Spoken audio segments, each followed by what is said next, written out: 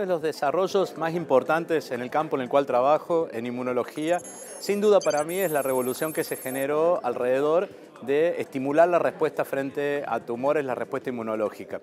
Todos sabemos que tenemos este, un sistema de defensas que nos va a defender frente a microbios, virus, parásitos, hongos, este, pero también para tumores. Y sin embargo, los tumores crecen, invaden nuevos órganos, hacen metástasis, más allá de que se genere una respuesta inmunológica específica que reconozca esas células tumorales. ¿Qué se descubrió en los últimos años, básicamente? Y esto se hizo en la Argentina y se hizo también en el resto del mundo se descubrieron mecanismos a través de los cuales los tumores escapan la respuesta inmunológica. El gran desafío es ver cómo se pueden bloquear.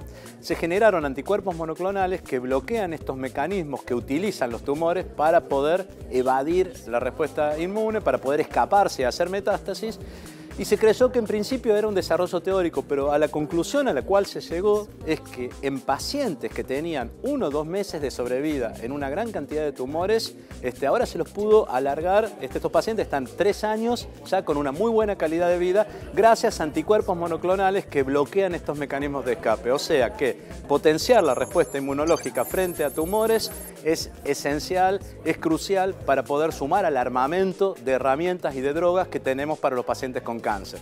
¿Cuál es el desafío futuro? Combinar estos mecanismos con otros mecanismos existentes a los fines de hacer que el cáncer sea, o la mayor cantidad de tumores, sea una enfermedad crónica eh, y no que sea una enfermedad terminal.